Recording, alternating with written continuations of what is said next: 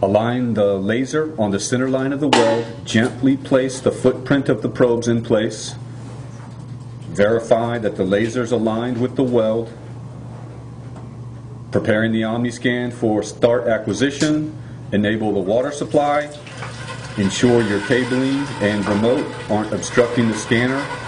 Visually verify the laser is tracking on the weld. Apply a pressure on the guide bar if necessary.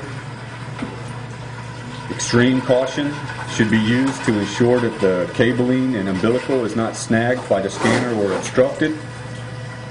Follow the scanner completely around to the zero reference point from the start of the inspection. Stop the scanner.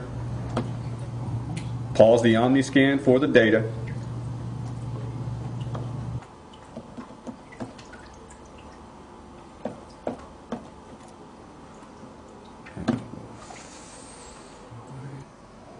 The guide bar can be inserted on either side of the scanner, and it's used both for guiding the laser alignment on the weld and for providing tension to remove the four magnetic wheels off of the pipe. It's inserted and screwed into place.